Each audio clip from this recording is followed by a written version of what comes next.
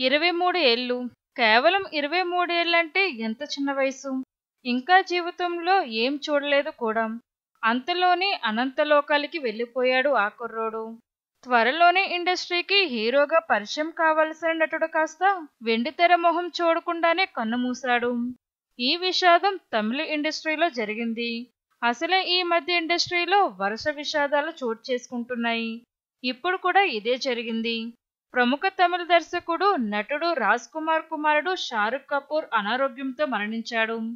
గత కొన్ని రోజులుగా ఈ కుర్రోడు అనారోగ్యంతో బాధపడుతున్నాడు. ముఖ్యంగా శ్వాసకోశ సంబంధిత వ్యాధితో ఇబ్బంది పడుతున్నాడు షారుఖ్.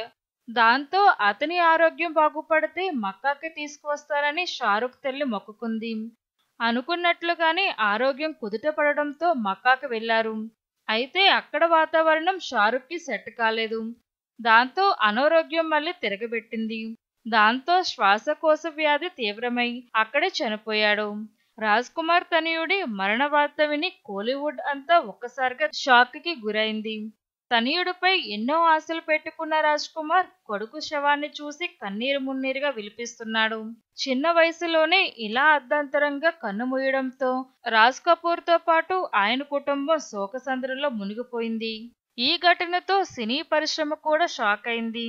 తమిళనాట రాజ్ కపూర్కి మంచి దర్శకుడిగా గుర్తింపు ఉంది. ఆయన అక్కడ అవన్ వరువల ఆనంద పుంగట్రు లాంటి సినిమాలకు దర్శకత్వం వహించారు. దాంతోపాటు చాలా సినిమాల్లో నటించాడు కూడా. తెలుగు సినిమాలు కూడా చేశాడు ఈయన. త్వరలోనే షారుఖ్ కపూర్ని వెండితెరకు పరిచయం చేయాలని ఆలోచిస్తున్న తరుణంలో ఇలా తనయుడు మరణించడంతో ఆయన పూర్తిగా షాక్లోకి వెళ్ళిపోయాడు ఏదేమైనా రాజ్ కపూర్కి ఆ దేవుడు మనోధైర్యాన్ని ఇవ్వాలని కోరుకుందాం. అలాగే ఆయన కొడుకు ఆత్మ ఎక్కడున్నా శాంతి చేకూరాలని కోరుకుందాం.